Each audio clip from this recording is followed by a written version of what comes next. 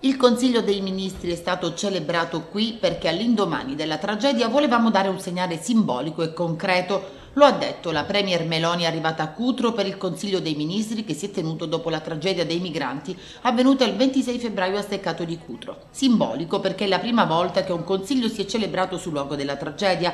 Non potevamo rispondere alla strage senza dare un segnale concreto perché noi siamo il governo. Il nostro compito è trovare soluzioni ai problemi. Penso che il modo migliore per onorare le vittime è fare quel che si può fare affinché non si vadano a ripetere tragedie come queste. Diamo il via libera ad un decreto decreto legge che affronta la materia per ribadire che siamo determinati a sconfiggere la tratta di esseri umani, trafficanti di vite umane che sono i responsabili di questa tragedia. La nostra risposta è maggiore fermezza. Una targa è stata posta all'ingresso del comune in memoria delle vittime. Volevamo dare un segnale di vicinanza alle popolazioni colpite dai flussi migratori, un segno tangibile tramite atti concreti. Siamo determinati a sconfiggere la tratta umana degli scafisti. Combattiamo la schiavitù del terzo millennio abbiamo voluto apporre all'ingresso del comune una targa in memoria delle vite perché il ricordo non sia semplicemente un fatto transitorio, ha inoltre sottolineato la Meloni. La nostra linea in termini di immigrazione è combattere questi criminali